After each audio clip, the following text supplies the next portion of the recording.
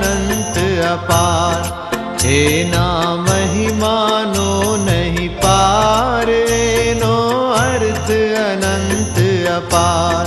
समरो मंत्र भलो नवकारौद पूरमो सार। समरो मंत्र भलो नवकार छे नवकारौद पूरमो सार।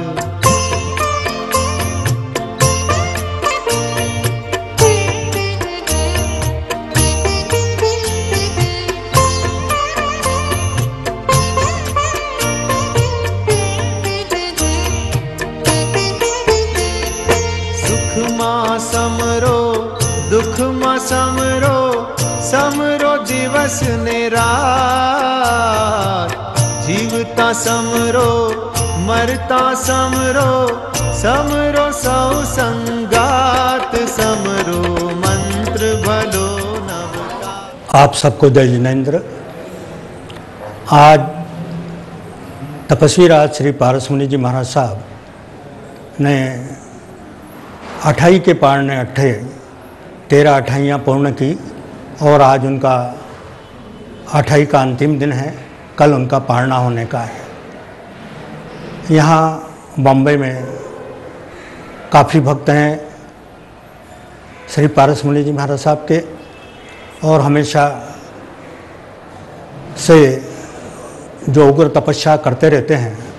लेकिन पारस मुनि जी महाराज साहब कभी भी अपनी तपस्या का आयोजन या डिक्लेरेशन नहीं करते हैं। केवल आज पहली बार बहुत अधिक आग्रह होने पर और उनके जीवन की सबसे बड़ी तपस्या भी थी। इसके कारण उन्होंने भक्तों के आग्रह को टाल नहीं पाया और आज महोत्सव मनाने की उन्होंने मौन स्वीकृति दी। दरअसल मैं, मेरा नाम शांतिलाल बाफना है। हम लोग धार ज़िले के छोटे से ग्राम नागदा के निवासी हैं। पारस मुनि जी महाराज साहब, मेरे बड़े भाई साहब जिनका नाम बाबूलाल जी था और अभी इस वक्त वो उदय मुनि के रूप में पारस मुनि जी महाराज साहब के शिष्य के साथ उनकी पचानवे वर्ष की इस समय उम्र है।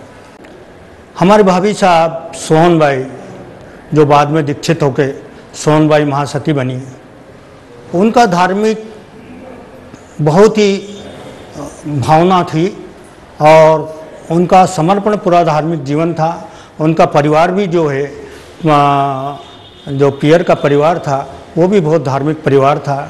इसलिए उनकी धार्मिक साधना बड़ी कठोर थी।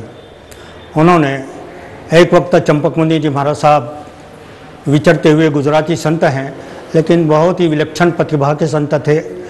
गुजर उधर से मध्य प्रदेश के अंदर उनका आगमन हुआ और हमारे धार ज़िले के बदनावर ग्राम में उनका चातुर्मास हुआ। चातुर्मास के दौरान पारस मुनि जी के जो सांसारिक मामा थे, सरदार मुनि हैं, उनकी बाद में उनके पास दीक्षा हुई और इसके कारण हम मालवा प्रांत के मध्य प्रदेश के, मध्य प्रदेश के जितने भी लोग हैं, वो धीरे धीरे हाँ से हमारे इधर उमेश मुनि जी महाराज साहब का बड़ा प्रभाव है। हम सब उनके भक्त हैं, लेकिन चपक मुनि जी महाराज साहब का उधर पदार्पण हुआ। उन और पारस मुनि जी के मामा श्री सरदार मुनि जी महाराज साहब की दीक्षा हुई। इसके कारण सारा पारिवारिक दृष्टि से हमारा मालवा का परिवार गुजरात के अंदर दीक्षित हुआ। हमारे भाई साहब बाबूलाल जी, उनके तीन पुत्र और तीन पुत्रियाँ हैं। और उनके अंदर सबसे बड़ी जो पुत्री है, वो संसार में है। लेकिन उसने उस, अपनी दोनों बेटियों को जिन शासन की सेवा के अंदर भेजकर दीक्षित कर दिया। उसके बाद में सबसे पहले जो हुआ, पारस मुनि जी को जब थोड़ा छोटे थे, पारस नाम था उनका सांसारिक, तब उनको विद्या अध्ययन के लिए खम्बात में पूज्य गुरुदेव चंपक मुनि जी महाराज साहब के पास भेजा। इनके साथ इनकी बहन जो बड़ी बहन है परमीला बाई उनको भी भेजा और धीरे से वहाँ पर उनकी दीक्षित भावना बनी और बाद में खम्बात के अंदर ही श्री पारस मुनि जी की प्रमीला बाई महासती इनकी बड़ी बहन की और इनकी नानी जी आ, का वहाँ पर दीक्षा हुआ। उसके बाद धीरे धीरे धार्मिक वातावरण बनता गया, परिवार जुड़ता गया। और जब पारस मुनि जी की दीक्षा हो गई, उसके बाद धार्मिक रूप से तो जड़े, जुड़े हुए थे ही। लेकिन आदित्य मुनि जो सांसारिक नाम जिनका अनोखीलाल जी था, वो अपने व्यापार के अंदर शुद्धता से व्यापार करते थे। लेकिन एक बार बॉम्बे में वो मांस खमन तीस दिन का उपवास कर रहे थे अचानक स्थानक के अंदर एक बड़ा कांच उनके ऊपर गिरा और कांच के हज़ारों टुकड़े हो गए, लेकिन उनको खरोज भी नहीं आई। शरीर पर तो खरोच नहीं आई, लेकिन उनके दिमाग के अंदर खरोच आ गई। और वैसे ही आते से ही उन्होंने निर्णय कर लिया कि अब मुझे संसार में नहीं रहना है। मुझे जिन शासन की सेवा में जाना है, मुझे दीक्षा ग्रहण करना है। उन्हें किस प्रकार से समझाया गया, लेकिन उनकी अटूट भावना ऐसी जागृत हो गई है कि उनने कहा, मुझे दीक्षा ग्रहण करना ही है। हमारे भाभी साहब जो कब से दीक्षा लेना चाहते थे, लेकिन उनकी अवस्था की दृष्टि से कोई भी साधु संत और परिवार के जन भी उनको ये अवस्था की दृष्टि से कहते थे कि, भाई, अभी आप दीक्षा ग्रहण मत करो। जब अनोखे लाल जी की भावना बनी कि मेरे को दीक्षा ग्रहण करना ही है तो हमारे भाभी साहब सोहन भाई ने उसको स्वीकार किया और तत्काल उन्होंने निर्णय लेके गुरुदेव से चर्चाएँ की। और इनके घर के अंदर वातावरण बन के बना और इसके जब उस समय इनके पुत्र इनकी पुत्री पुत्र जो आज पंकज मुनि के नाम से हैं इनकी पुत्री भावना जो भावेशा जी महासती जी के नाम से इनकी पत्नी आ, उनका वो भी बरल सरल स्वाभिमान स्वाभिमानी। किंतु क्या है कि उनका इतना लगाव था पारिवारिक और अवस्था इतनी छोटी थी इन दोनों बच्चों को उतनी समझ भी नहीं थी। लेकिन मातृ प्रेम और पुत्र प्रेम के, पिता के प्रेम के कारण इनका भी मन हुआ कि नहीं, मुझे भी दीक्षा ग्रहण करना ही पे, हम पिता के साथ ही रहेंगे। और हम भी दीक्षा। हमारे भाभी साहब सोहन भाई महासती जी को ये एक अवसर मिल गया, जो उनको दीक्षा देना नहीं चाहते थे संत लोग अवस्था के कारण। जब उनके साथ में उनकी सेवा के लिए उनकी पोती और बहू भी मिलने लगी तो गुरुदेव ने सहज स्वीकार कर लिया। और ये गुरुदेव की सेवा में गए, वहाँ अध्ययन करते रहे, साथ रहे। उसके बाद इनकी भावनगर के अंदर, भावनगर के अंदर ही सोनबाई माँ सती जी की और इनकी पुत्रवधु की और पुत्री भावना जी की, इन तीनों की दीक्षा भावनगर के अंदर हो गई। उसके बाद पारस मुनि, पारस और अनोखी लाल। ये दोनों भी संत की सेवा में पारस मुनि जी के साथ ही थे, अपने व्रत का पालन कर रहे थे और उसके जब इनकी दीक्षा तय हो गई तो इनकी भी दीक्षा निश्चित थी। उस समय अमलनेर में चतुर्मास निश्चित हुआ था पारस मुनि जी महाराज साहब का। तो बहुत कम समय था, लेकिन मैं सांसारिक काका हूँ, पारस मुनि जी का, बाबूलाल जी का जो कि आज उदय मुनि हैं, उनका छोटा भाई हूँ, मेरा बहुत आग्रह था कि सबकी दीक्षा धार में ही हो। लेकिन इनकी, हमारी भाभी साहब की दृढ़ इच्छा थी कि अब समय नष्ट नहीं करते हुए मेरी दीक्षा अति शीघ्र हो जाए, इसलिए उनकी दीक्षा भावनगर में ही दे दी गई। और उसके बाद जब मैंने अति अति आग्रह किया तो उन्हें गुरुदेव ने सरदार मुनि जी महाराज साहब ने भी और पारस मुनि जी ने भी स्वीकार करके और धार के अंदर पधारे वहाँ पर आदित्य मुनि, पंकज अनोखीलाल, जिनको आदित्य मुनि नाम दिया गया और पंकज, जिनको पंकज मुनि नाम दिया गया, उनके धार के अंदर दीक्षा कराई। आज पारस मुनि जी शुरू से थोड़े तेज स्वभाव के थे। बचपन उनका हठ योगी जैसा था। लेकिन ऐसे ही जब उन्होंने अपने गुरु की साथ रह के चंपक मुनि जी महाराज साहब की इतनी अधिक सेवा की। प्रकांड विद्वान थे, लब्धिधारी संत थे, बहुत शिक्षित थे, उनके प्रभाव और कठोर अनुशासन वाले थे। इसलिए उन्होंने इनको कठोर अनुशासन के अंदर घड़ा और कठोर अनुशासन के बाद ये पारस जो हैं, पारस मुनि बने, इनकी दीक्षा बनी वहाँ खम्बात में जब हुई थी और उसके बाद जब ये संत बने तो धीरे धीरे इन्होंने हमारे परिवार को खाली कर दिया। आज हमारे परिवार से हमारे पारस मुनि के सांसारिक पिता बाबूलाल जी, दीक्षित नाम उदय मुनि, इनके छोटे भाई अनोखी लाल, दीक्षित नाम आदित्य मुनि, इनके आदित्य मुनि के लड़के पंकज दीक्षित नाम पंकज मुनि, ये चारों संत हैं। और उधर सतियों में हमारे सोहन भाई महासती जी, अब देवलोक हो गए, पारस मुनि जी की माता जी उसके बाद इनकी पत्नी और पुत्री और प्रमिला जी महासती जी सबसे बड़ी बहन, जो इनके दीक्षा खम्बात में ही पारस मुनि जी के साथ हुई थी। आठ तो ये हैं। और दो हमारी भांजी, हमारी सबसे बड़ी भांजी जो हैं भतीजी पारस मुनि की सबसे बड़ी बहन संजली में रहती हैं गुजरात में। उनने अपनी दोनों बेटियों को शासन की सेवा में दे दिया, दीक्षित हुए। इस तरह से दस तो हमारे ही परिवार से दीक्षित हैं और पारस मुनि जी के मामा कर्नावट परिवार, वो स्वयं सरदार मुनि जी महाराज साहब जो हैं, गच्छाधिपति रहे। उनके बाद में जब दीक्षा हुई तो उनकी माता जी की भी दीक्षा हो गई। उसके बाद उनकी एक बहन और ताराबाई की दीक्षा हुई और उनकी बहन की लड़की अंगूर प्रभा जी की उनकी भी दीक्षा, ऐसे चार उस परिवार से। कुल चौदह लोगों की एक ही परिवार से दीक्षा है। और पारस मुनि जी महाराज साहब के अंदर तपस्या का बड़ा उग्र प्रभाव है। वो हमेशा अपनी तपस्या से अध्ययन है, ज्ञान का अध्ययन है।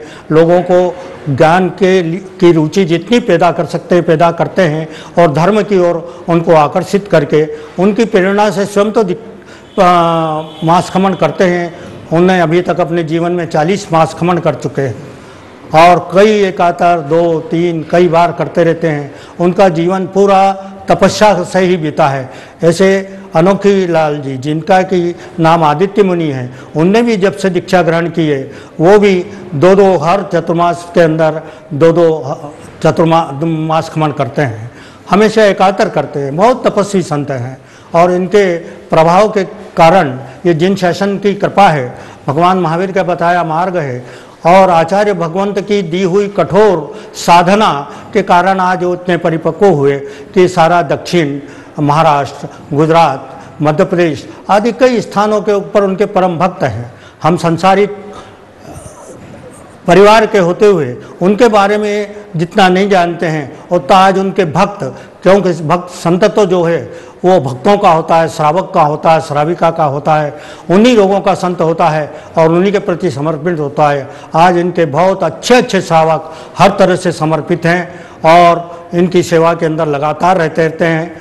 पारसमुनि जी के जीवन का एक ही उद्देश्य है कि अधिक से अधिक तप हो, अधिक से अधिक धर्म भावना प्रभाव बने, अधिक से अधिक तप के अंदर लोग जागरूक हों, जुड़े और ये लगातार प्रयास चल रहा है। पारस मुनि जी महाराज साहब मालवा के एक छोटे गाँव से निकलकर और गुजरात के संत बने, लेकिन आज पूजनीय। पारस मुनि जी महाराज साहब के अंदर एक विशेषता है, उनको किसी भी संप्रदाय, गच्छ, थाना, मंदिर इत्यादि से किसी प्रकार का भेदभाव नहीं है। इसलिए उन्हें कई लोग राष्ट्र संत के स्वरूप के अंदर मानते हैं। तपस्वी राज तो कहते ही हैं। कई लोग तपस्वी सम्राट भी कहते हैं। काफ़ी तपस्या में जीवन है उनका। इस समय यदि कोई दे, देखे उनके शरीर को तो उनकी सारी पेट की आते ऐसी अलग अलग दिख रही है। शरीर के अंदर जैसे लगता है कि कुछ खून या मांस नहीं है इस प्रकार का उनको लग रहा है। लेकिन उसके बावजूद भी उनकी जो प्र, प्रतिदिन की प्रवचन की शैली मांगलिक की शैली जो कार्यक्रम है वो किसी तरह से भक्तों से चर्चा करना, भक्तों को मांगलिक देना, तपस्या में आगे बढ़ाना, किसी प्रकार से कमी नहीं आता है। और उनका ये जीवन ही है कि मेरा जीवन ही ये तप तप के अंदर बीते।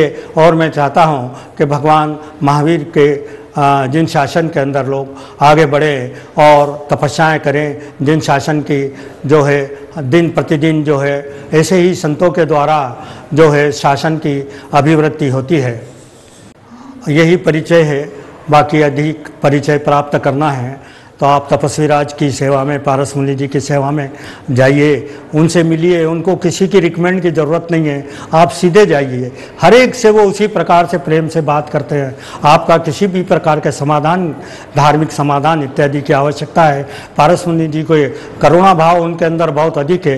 वो चाहते हैं मेरे श्रावक श्राविकाएँ सबका अच्छा अच्छा से अच्छा समय बीते, धार्मिक समय बीते, इसलिए वो मार्गदर्शन देने में हर व्यक्ति को कोई भी उनके पास बिना संकोच जा सकता है, उनसे पूरा समय ले सकता है और जो धार्मिक भावना रखता है, उनके प्रति वे अधिक से अधिक समय देने को हमेशा तत्पर रहते हैं। मेरा निवेदन है कि अगर पारस मुनि के बारे में आप और अधिक जानना चाहते हैं तो सीधे उनसे संपर्क करिए, मिलिए। किसी तरह की रोक टोक नहीं है, किसी तरह की सिफारिश की ज़रूरत नहीं है, किसी तरह की रिकमेंड नहीं है कि आवश्यकता नहीं है। लेकिन यदि आप जैन धर्म में रुचि और धर्म में रुचि रखते हो, मैं तो केवल जैन धर्म का नहीं कहता, धर्म में भी रुचि रखते हो तो पारस मुनि जी महाराज साहब के संपर्क में एक बार अवश्य पधारिए। सादर जय जैनेन्द्र।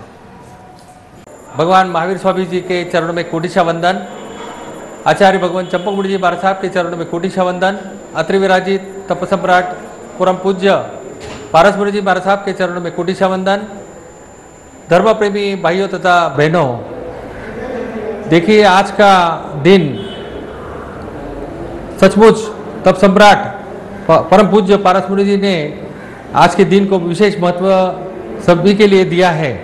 उनके जीवन के काल में उन्होंने अपने लगभग इक- इकसठ इकसठ वर्षों के वय मर्या- मर्यादा में उन्होंने लगभग अपने दीक्षा के 45 साल पूर्ण कर चुके हैं। और उनके कार्यकाल में उनमें लगभग 40 मास कमन पूरे कर चुके हैं। और इसी दरमियान आज का दिन विशेष रूप से कहा जाता है कि उन्होंने आठ आठ के बाद पारना आठई के बाद पारना, ऐसा लगभग तेरह अठाई आज पूर्ण कर चुके हैं।